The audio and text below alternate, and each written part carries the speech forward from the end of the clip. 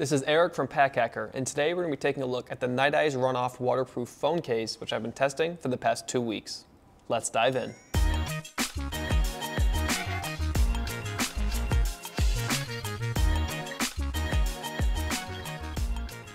So taking a look at the exterior here, you can see that this looks very similar to a lot of the other Nite Ize products that we've tested in the past. We've tested uh, 411 pouch, uh, a couple other travel pouches, and they typically have this TPU material and then a grayish, uh, dark kind of charcoaly color as an accent.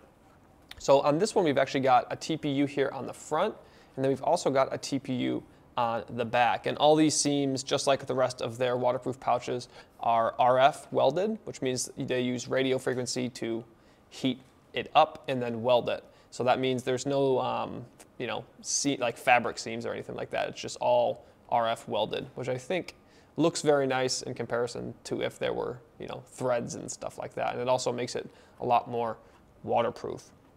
But as I said, you have this TPU on this side, and then you have a little TPU window on this back side as well. And that's because this is just for a phone. You can fit some other stuff in there too. But when you put your phone in there, you can use it on this side, and then you can take photos through that side. But we'll get more into that in just a little bit. We'll go through a few more of the features here. We have this little strap loop here. It's not super thick, so you might not be able to fit um, uh, all of your belts through there, but like a, a standard belt, you're going to be able to fit through there. Or if you just want to attach it inside your pack using a strap or something like that, you'll be able to do that. Then we have these two little hooks here, which let me grab the lanyard here. It comes with this little lanyard. Um, it, this lanyard does feel a little cheap to me. It's not super thick and the material doesn't feel super durable. So if you want something a bit nicer, you would have to replace that. But it has these little clips here on the end that just pop on here.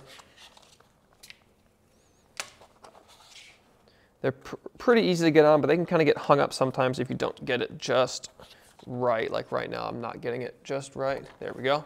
So then you can see there that it's not like fastened, like it's not a buckle or anything like that, but there is that little lip there to keep it from coming off.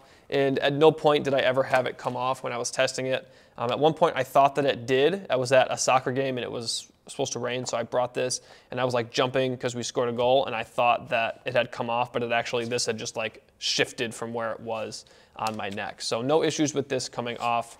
And if you want to take it off, you just kind of have to shove it through there and it'll come off. But as I said, this lanyard does feel a little bit, a little bit cheap to me. And I don't love the look either. There's no padding or um, obviously no aeration either. It's so thin. So if you were to, you know, if you have a heavier phone and you were to put your phone in here, maybe your wallet too, it does kind of dig into your neck a little bit, especially if you were going to the beach and you didn't have a shirt on or you had a really thin shirt. It kind of digs into your neck a little bit. And this, depending on where this plastic adjuster sits, that can kind of dig into you a little bit too. Um, but as I said, it's just a, you know, a lanyard that comes with it. If you wanted to, you could find one to replace it with, but you just have to make sure that it would be able to attach to these little uh, loops there. But moving past that, you see we have the Nite Ize logo there. Very minimalistic. I think most of their new products have that. They used to have a rectangle one, and I think that they've kind of moved away from that. They just have the little circle one with the uh, crescent moon there. So I think that looks very nice, and it's not very in your face. The only other place that there's any branding on this is on the zipper. As you can see there, it does have the TRU on it. This is their, their TRU Zip which they have on all the other stuff we've tested that is like this. And it is a very nice zipper. It takes some getting used to, but I really do like how this zipper functions. It's very light. It's you know made from plastic. And as I open it here, you can see that it has that little, it locks in place there. And then you bring it around, you're open, you can get your, put your phone in, take your phone out, and then close it up again. A few times on this one, which I did not have happen when I reviewed the travel pouch, I thought that it was all the way closed, and then I'd look back later and I was actually just right there, which isn't a huge deal unless you're submerging it in water, but just double check and make sure that you got it all the way closed. Um, something that I wrote about in the travel pouch review is this zipper pull. I, I, like I said, I really like this zipper, but this zipper pull just feels cheap to me, similar to the lanyard. Like I think they could do a better job integrating this not this zipper pull, but a zipper pull on here. It's long and you can grab onto it, but it just doesn't really feel very sturdy, whereas the rest of this um, phone case feels sturdy and protective. And so once this is closed, I'm not sure how well you'll be able to see this, but if I push on this, you can see that the air is stuck in there. Like the air can't even get out. Like I'm pushing on that as hard as I can and the air is not coming out of there. So that just um, is a testament to this zipper. Just wish that that zipper pull was just a little bit easier to use. But we'll hop inside this thing now. Grab my phone. So I have a case on my phone. This is an iPhone 11, just a standard size. And with the case, it does fit inside of here, but it's not, it can be really hard to get out and like just annoying if you need to get your phone out. So I'll slide it in, and I should say it's a little hard to get in there too. As you can see, there's a band here, and what that band does is it keeps your phone pressed up against this TPU so that you're still able to use your phone. So let me slide that in there real quick. Lock my phone again. So as you can see now, my phone is in there, but it, I don't know how well you can see that, but because of the case, it kind of like is sitting weird because the case has a little bit of a lip to protect my screen. So the way that that lip is sitting, it kind of like pushes up against the TPU.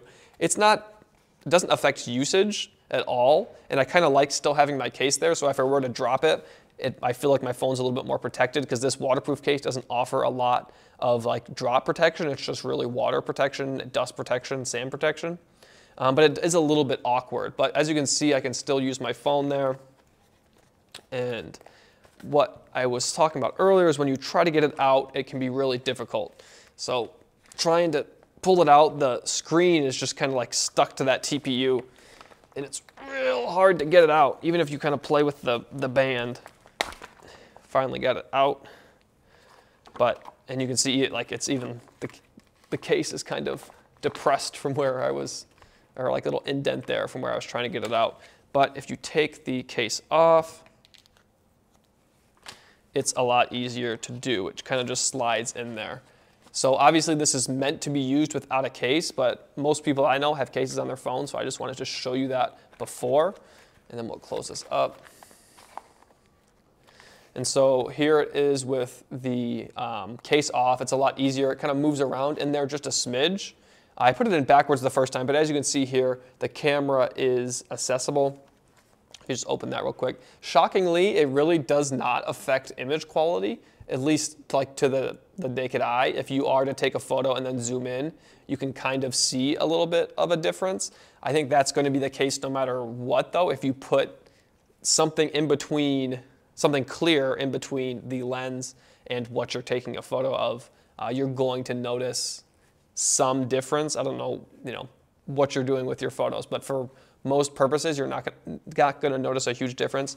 If there were to be water or something on the TPU, or if you were to get the TPU really smudged up, then you would notice more of a difference there. But for the most part, I was really happy with how this performed taking photos because at first I thought like there's no way this is going to work. And then after taking a few photos, I was happily surprised. I still, if I was really worried about getting a good photo, I would probably take my phone out and take the photo. But I do think that it is important to note that you really can get some pretty nice photos with uh, your phone in this case. But something else that you can do here is I was able to also fit, I have a pretty small wallet here, but I was also able to fit my wallet inside here.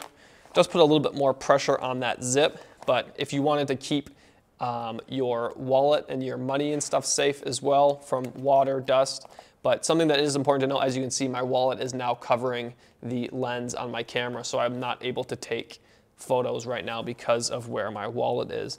But if you do, you know, if you want to slide your passport in there or something like that, if you're really worried about taking or leaving your passport at your hotel or something, you can slide it in here and have it with you at all times. Or if you're out and about with your backpack and you want to ensure that some things inside stay dry, you could slide your passport in there, other travel documents, and then just leave this inside your pack.